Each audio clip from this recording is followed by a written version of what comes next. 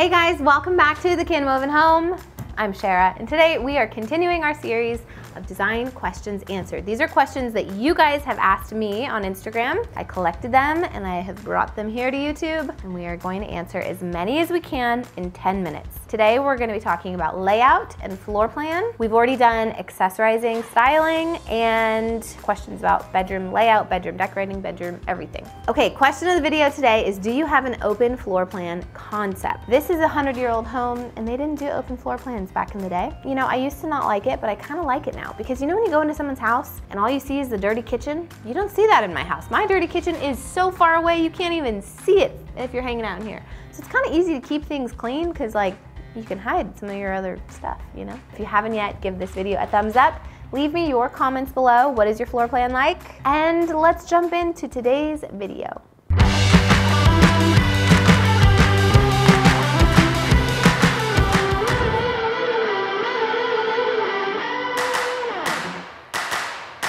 Got this, guys. We got this. The timer is starting in three, two, one.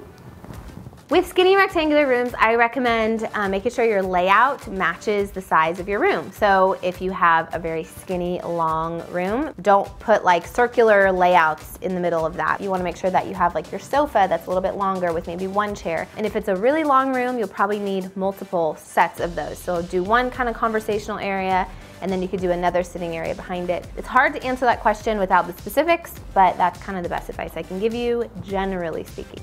Okay, in my Hermosa Beach apartment, we had a long skinny room that had to fit several different purposes. I had my office, my dining room, and our living room in like 300 square feet. And it wasn't even that big of a long room. It was just here's a room and you need to live in it and work in it and eat in it. So how do you make that work? The best way to do that is by using multiple rugs, but you don't wanna have crazy patterned rugs right next to each other. So I recommend doing a patterned rug next to maybe a more neutral kind of simple rug, maybe if it's like a jute woven rug, something more basic, leaving maybe the main area is that could be like your big rug.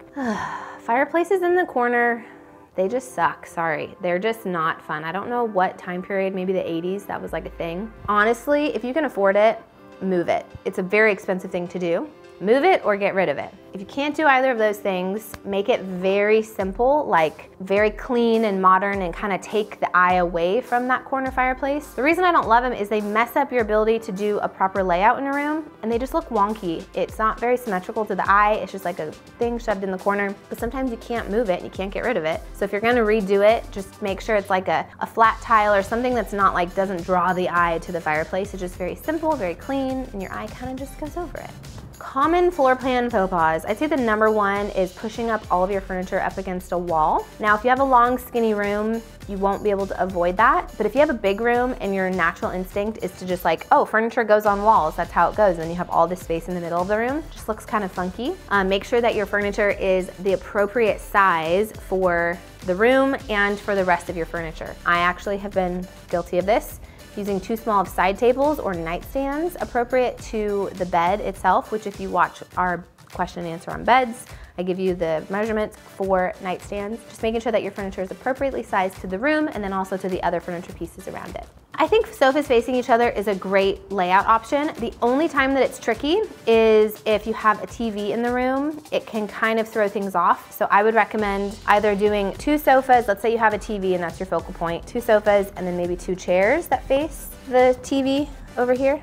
Am I making a good diagram, kind of? And it's a good experience for someone that lives alone or maybe somebody that has one or two people, but if you have a family of people, I don't think two sofas across from each other is good if you have a TV in the room. Okay, when you have a really large area, sometimes you just have to add extra furniture just to fill the space, especially if you have large square footage home or really tall ceilings, or if you're doing a really fun project like the Airbnb I just finished, that was just like this giant multi-purpose room that we had to make into like all these different little areas. Section off the areas with a rug. Obviously that really grounds each kind of sitting area itself. And then sometimes you just have to add extra things like an extra console or things like that. You can add like an, a little coffee nook sometimes, little fun elements that fit the room. I wouldn't put a coffee nook necessarily in a living room, but if you have a really big kitchen that's open concept to your living room, doing a cool coffee nook or bar setup would be a really fun way to use the space.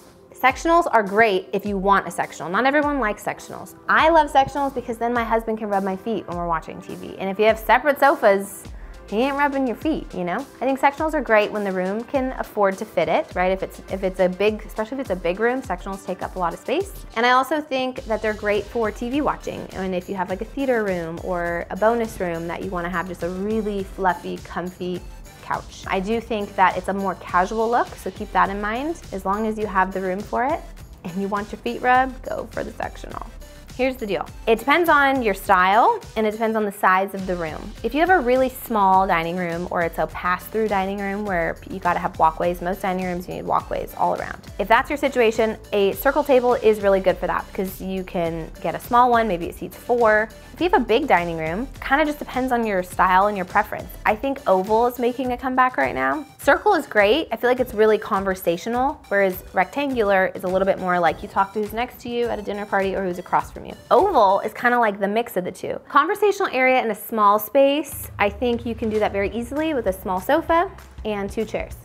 Heights of furniture in a living room, okay, again, it depends on your style and it depends on the size of the room. So if you are super modern and you're in a loft area space with 20 foot ceilings, it can look really cool to have low furniture, low to the ground furniture, because that's the vibe, that's the style. For me, a general rule, rule of thumb, I like all of my sitting, like my seating heights to be the same generally. And then I like to mix different heights as far as like side tables or little stools or things like that. That adds interest to a space. But if you have like a really low sofa and a really tall side accent chair, it's gonna feel wonky. Small circle tables are great for smaller seating areas. If you have a really large sitting area, I would do something more like a rectangle or a big circle or even a big square like I have. And then if you have kids, also I like to kind of take that into account because coffee tables can have sharp edges. We have a tufted kind of ottoman coffee table with a tray on it and that serves to be really well having a one and a half year old who's constantly climbing on it and tripping and hitting his head on the corner. what wall do you see when you first walk into a room? Start there. Um, I would pick something, it doesn't have to match exactly. In fact, I prefer if it doesn't match exactly, but just have it be complementary to it. You know, we talk about color scheme, like make sure you have a buddy. So if you have green in the room somewhere and your dining table is like a oak color with like maybe neutral chairs or black chairs, you could bring green in in the bar stools if it also is represented in other places in the room, or it doesn't have to be green, it could be a different color. But if you have wood chairs, you could do a cloth bar stool. If you have cloth chairs, you could do a metal bar stool. I think it's fun to mix up the finish. I don't think you have to match it. I think it's safe to say like one rug per sitting area or per room, unless the case where you have a really big room, you may have to layer your rugs to get a wider space. In terms of a runner going down a hallway, that's not the only place. You can also add it into a kitchen, like maybe if you have an island. I have one in my kitchen kind of behind, between the stove and then between um, the island itself. If you're gonna do a runner in a hallway and it's a long hallway, you need to get a custom runner. Like I remember Britney Spears actually in one of her posts. It was a hallway and there was like four like five foot runners all next to each other. And I'm like, girl, especially you, you could get a custom runner. Just get, just fill the whole hallway with a runner. Achievement unlocked. Oh, achievement unlocked, I answered them all. And under, what do I have left? Woo! Scout, come here,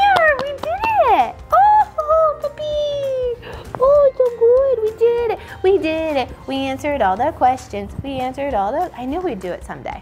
Okay guys, that is all I have for you today. I hope that was really fun. I hope that all of your questions about layouts have been answered and you are pros. I wanted to remind you guys, we are doing a $25,000 giveaway for one lucky person at the end of this year. The way that you enter to win is by becoming a Design Sessions member. If you're a Design Sessions member, you get entered every single month you're a member, you get an extra entry between now and December. So we have like six months left.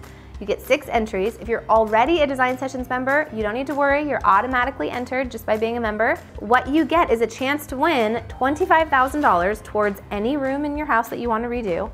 And you get a one-time consultation with my mom and I.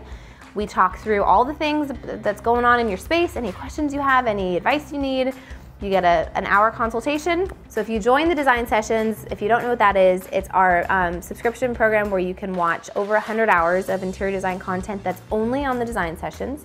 And it's all kinds of instruction and um, a little bit of entertaining content. My mom and I, we take on different episodes and different categories and topics. And it's just a really good time and really helpful if you guys are needing help with your spaces or you just love interior design and you wanna learn more about it. You can watch anywhere and you can cancel anytime. And there's a seven day free trial if you wanna just check it out. So I'm gonna link that below, go enter to win. Thank you guys for watching today. Don't forget to hit subscribe and I will see you guys next time.